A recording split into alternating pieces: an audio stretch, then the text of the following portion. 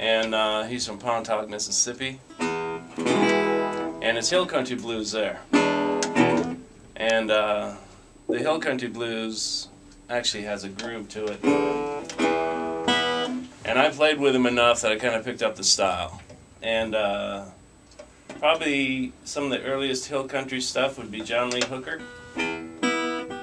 even though he was from Clarksdale, which isn't the hill country. We'll get into that later. Maybe. Maybe not. But anyway, up in the hill country, they have a groove.